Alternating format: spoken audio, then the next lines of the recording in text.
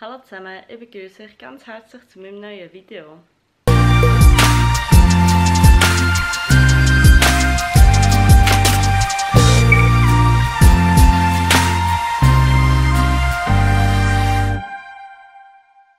Heute geht es für Lemmy und mich wieder an ein Dressurturnier.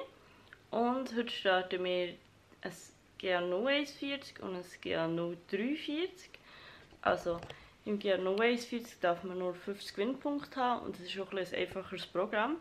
Deswegen haben wir das Gefühl, dass wir dort vielleicht ein mehr Chancen haben. Und GA 043, äh, dort haben wir dann wieder nicht so viele Chancen, weil es zählt zum ZKV-Championat, aber wir haben nicht nur für eine Prüfung herfahren und es geht uns anschließen, also haben wir das auch noch genannt. Und gestern Abend bin ich noch im Dressurtraining, also wir haben nicht super viel gemacht, aber äh, einfach schön nochmal bei der Trainerin reiten und so, dann alles nochmal äh, testen und der Leben ist wirklich einfach mega gut gelaufen. Also wenn er heute noch halb so gut geht, bin ich schon sehr, sehr zufrieden. Aber ja, und ich habe gestern Abend noch gezöpfelt. Da war er auch erstaunlich ruhig für einmal. Und ich war heute Morgen schon sehr früh im Stall. Gewesen.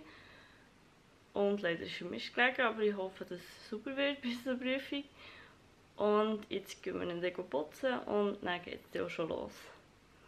Ich wünsche euch viel Spaß bei diesem Video.